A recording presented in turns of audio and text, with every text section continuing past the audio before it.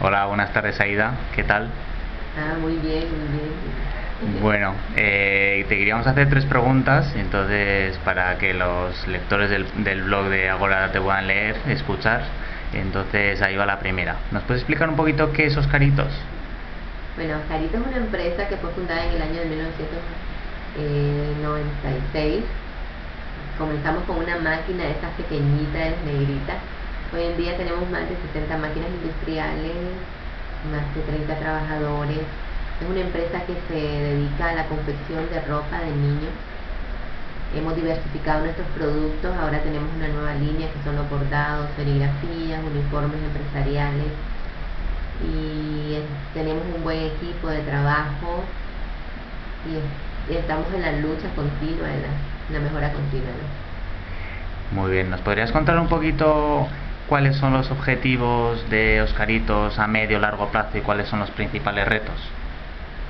Bueno, nuestro objetivo es hacer ropa de niño, crecer, dar más empleo, ser una empresa sostenible y aportar en la economía de nuestro país, uno de nuestros objetivos, y erradicar la pobreza. ¿Cuáles son los principales retos que os encontráis para alcanzar estos objetivos? Eh, crecer en el área comercial.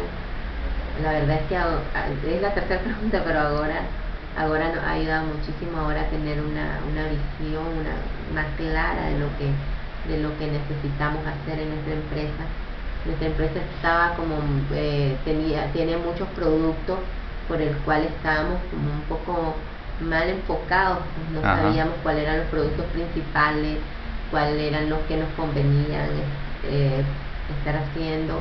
Y ahora con un estudio que ahora nos ha hecho a través de de Julie y de, Pedro pues nos han apoyado muchísimo, les agradecemos.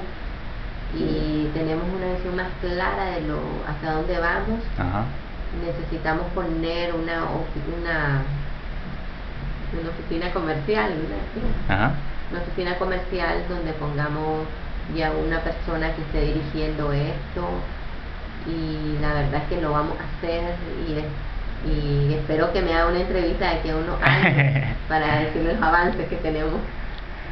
Muy bien, pues muchísimas gracias Aida por todo. Gracias a ustedes y ahora por esta ayuda.